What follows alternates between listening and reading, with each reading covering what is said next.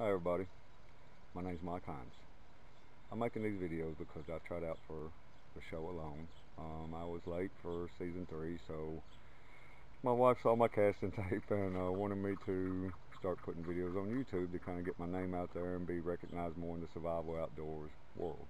And um, we're going to be doing stuff like hunting videos, fishing videos, a lot of survival stuff, building fire, purifying water, shelters, um, also going to be doing a lot of like outdoor cooking. Um, pretty much everything we do every day for enjoyment. I mean, you know, we cook, we fish, we hunt, just about everything we can do.